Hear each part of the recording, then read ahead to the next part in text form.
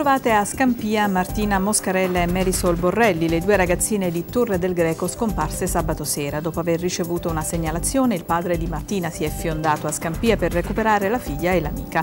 Le due giovanissime sono state ascoltate dagli inquirenti e dal commissariato di polizia di Torre del Greco. Erano molto provate e stanche. Il PM della Procura di Torre Annunziata ha disposto quindi l'apertura di un'inchiesta di ipotesi di reato e sequestro di persona. Si cercano ora tre uomini, due uomini con i quali le ragazzine hanno trascorso 16 ore e l'uomo che è armato ha scortato il padre fino al luogo del ritrovamento. Le due giovanissime verranno sottoposte eh, ad indagini cliniche. A Torre del Greco era scomparsa una terza minorenne, una quindicenne di origine indiane, papà straniero e madre torrese.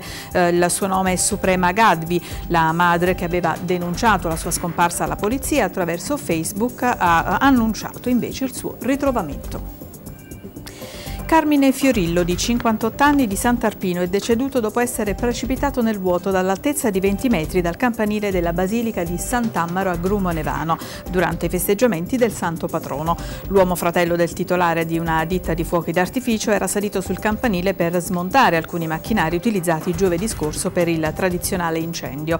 Per cause ancora in corso d'accertamento, Fiorillo, che si trovava in quel momento all'ultimo piano, nel vano dove sono posizionate le campane, è precipitato.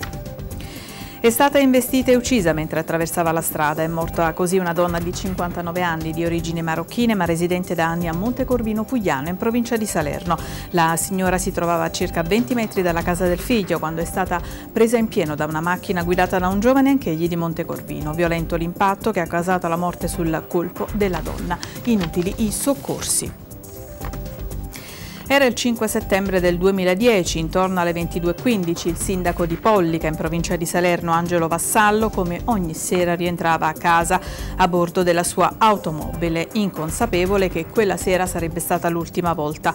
Nove colpi d'arma da fuoco calibro 9 lo hanno raggiunto lungo il suo tragitto. Suo fratello è stato a, a ritrovare il corpo primo di vita. È morto così perforato da numerosi proiettili. Angelo Vassallo. Le prime indagini parlavano di un omicidio di stampa campo camorristico e la brutalità con cui si era consumato il delitto avrebbe confermato tale ipotesi. E la svolta arriva nel 2012 grazie alla testimonianza di un collaboratore di giustizia, il quale confermerebbe già un'ipotesi avanzata dagli inquirenti che ad uccidere Vassallo è stato Umberto Damiani, detto il brasiliano per le sue origini, volto noto per attività di spaccio di stupefacenti gestito appunto nella zona di Alciaroli. È tutto per questa edizione, grazie per essere stati con noi, come di consueto prossimo appuntamento tra un'ora circa più tardi.